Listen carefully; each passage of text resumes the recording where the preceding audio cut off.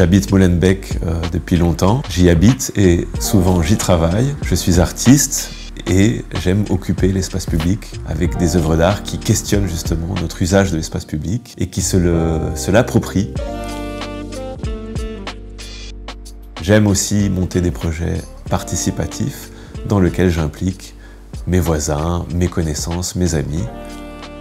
Dans le cas du projet Le long du canal, il s'agissait de créer un grand projet avec les habitants et donc euh, il fallait passer par une, forme d'autorisation et j'ai demandé de l'aide financière euh, à différents partenaires dont le port de Bruxelles ou Bruxelles Mobilité.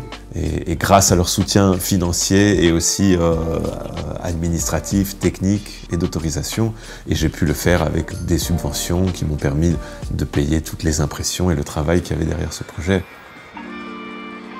Le cœur de ces projets-là, c'est souvent la réappropriation de l'espace public par les gens ou par les habitants, en invitant les gens à, donner leur visage et à poser pour, une photo.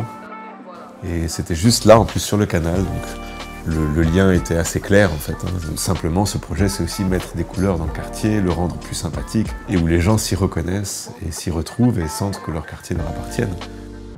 J'aime beaucoup ce quartier parce que je trouve que les gens sont très sympathiques, très souriants, qui est lié aussi à la culture marocaine qui est très, euh, très présente ici. Je connais tous mes voisins, quand je vais dans les magasins autour de chez moi, ils disent salut voisin, voilà, il y a un côté très chaleureux. C'est vraiment parfait euh, d'habiter là et, et je m'y sens très bien et c'est pour ça que je reste ici. Je suis Antoine Caramali, je suis artiste et j'aime occuper l'espace public.